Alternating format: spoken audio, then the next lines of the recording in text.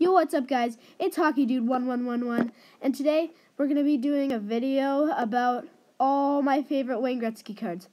So, out of all my Wayne Gretzky cards, I have one, two, three, four, five, six, seven, eight. I have 8 Wayne Gretzky cards, and we're just going to go through them, and then after we're going to pick my most prized Wayne Gretzky card. So, first, we're starting off with the Art Ross Trophy card. It, he he has I I'm not sure, but like. And second off, we're doing his league leaders points. He was with the Los Angeles Kings. And our second one is the OPG. OPG, I think I'm saying it right. He was with the Edmonton Oilers. And for our second one, he was with the Los Angeles Kings, and he, and this was his 2,000 points. And for our next one, it is the his Lady Byng trophy. Wayne I'm not sure which team he was with that time. And our next one is a very is a special one. So it is Fleer Showcase Wayne Gretzky card. It it's pretty nice.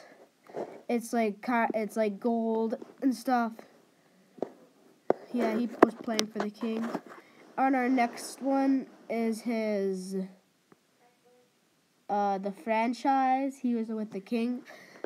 And our next one, I don't not sure, but it is the Wayne Gretzky rookie card. I got this at Rogers Place when the Oilers were in the well, they were playing the playoffs and they were against the San Jose Sharks, but I in game 7, I think it was. But I wasn't I was actually in Edmonton. You could watch it on the big screen. And I was watch we my, me and my friends, we were watching it. And um yeah, and I got that from the Oilers store. There's some pretty cool stuff there. So guys, I uh, I am actually not sure which card I should pick. I have two cards that I really want to pick, but I don't know which one it is. So it's, it's gonna have to be. It's gonna have to be out it these ones. Oh, I can't focus. There we go. I am not sure which one, the rookie card or his like gold Fleer showcase. So comment down below which one you think is better. So please drop a like and please subscribe.